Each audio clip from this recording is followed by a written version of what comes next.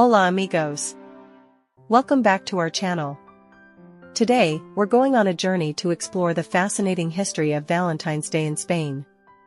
Get ready to uncover some amazing facts and cultural insights.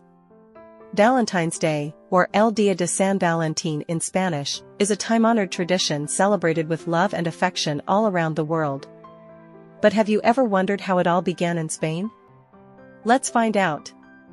Our story begins in ancient Rome, where the roots of Valentine's Day first took hold. Back then, people celebrated a festival called Lupercalia, dedicated to the god of fertility.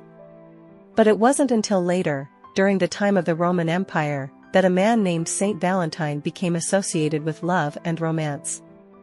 Legend has it that Saint Valentine, a kind-hearted priest, defied Emperor Claudius II's ban on marriage for young soldiers. He believed in the power of love and secretly performed weddings for couples in love. His courageous acts earned him the title of the patron saint of love.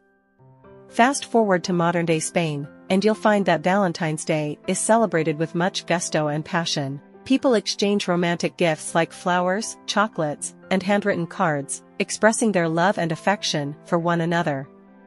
But it's not just about gifts and cards. In Spain, Valentine's Day is a time to celebrate love in all its forms.